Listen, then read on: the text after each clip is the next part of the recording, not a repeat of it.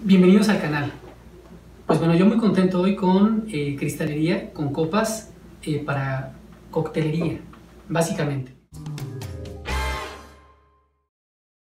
Voy a iniciar con esta que es el icono de, yo creo que de la coctelería a nivel mundial, que es esta, la copa martinera.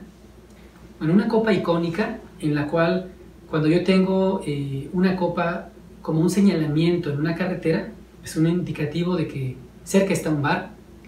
Eh, yo creo que es el icono de todo lo que es la coctelería, dentro de lo que refleja el trabajo de la mixología de la coctelería. Y bueno, cabe mencionar que el mismo James Bond en las películas pide su martini eh, sucio, ¿no? Eh, con, precisamente con una copa como esta. se dice que Miroslava muere, en este caso, con una copa de martín en la mano también. Y bueno, una copa emblemática que funciona para eh, coctelería, pues en este caso que requiera ser servida aquí, ¿no? Como obviamente el martini, el Gibson, el Cosmopolitan y diferentes cócteles en esta copa, copa martinera. Tengo esta otra que, bueno, es de hace ya muchos años, eh, copa eh, coctelera, que es la tradicional, la clásica, donde, bueno, esta es de las más antiguas, de hecho es la copa más antigua, donde se dice que eh, se obtuvo eh, del seno de María Antonieta como molde, eh, pues esta copa. La, famosa copa coctelera. pasados los años, bueno, surgen cristalerías mucho más modernas y la hacen más grande y bueno, es la misma copa coctelera pero más moderna, con la cual, bueno, funciona para eh, servir por ciertos tragos como el cóctel margarita, este trago que va con eh, tequila, jugo de limón, eh, licor de naranja, bueno, es con una copa escarchada, bueno, se monta aquí, como diferentes cócteles. ya más moderna, o copa para margarita, también se le conoce. En este caso, con esta versión, tiene lo que es el cuello y la base de color morado, que le da un contraste diferente para ciertos tragos.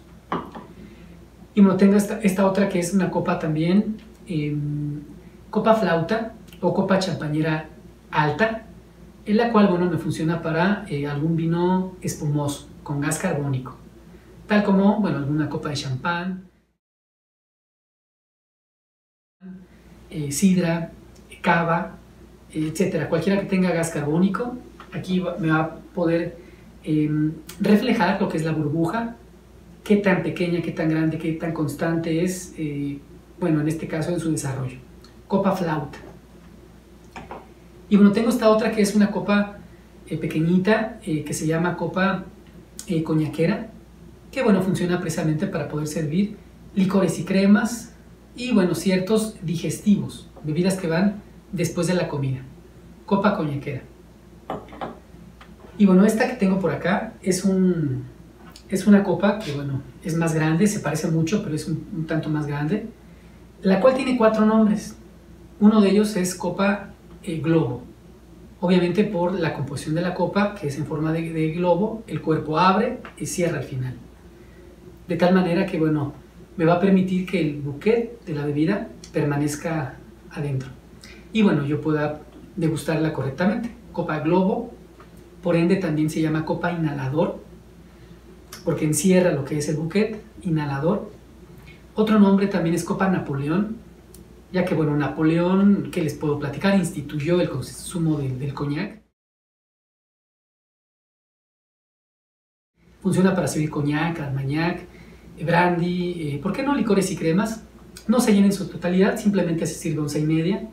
Y bueno, es la copa, eh, como les dije, globo, Napoleón, inhalador, y un nombre más también aparece con el nombre de copa sniffer.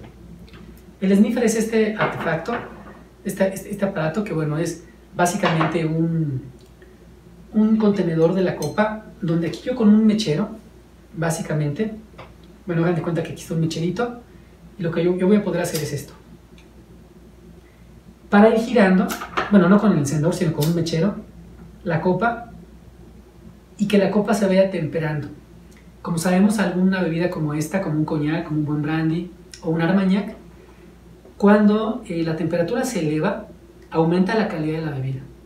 Por ello es de que esta copa tiene un tallo corto, porque voy a poder yo tomarla con las manos y poder trabajarla de esta manera. De hecho van a ver en restaurantes como mucha gente calienta un tanto con, con el calor corporal la bebida para que aumente su calidad.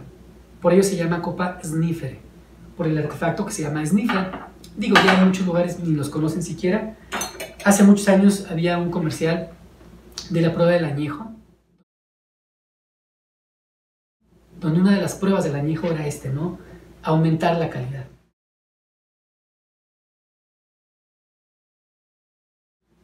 Esta copa que es la copa flauta, esta copa que es la copa martinera, obviamente tienen el tallo largo para poder alejar mi calor corporal del cuerpo de la botella. Lo voy a poder tomar entre el tallo y la base. Es la forma correcta. Nunca voy a tomar una copa donde voy a hacer algo frío del cuerpo.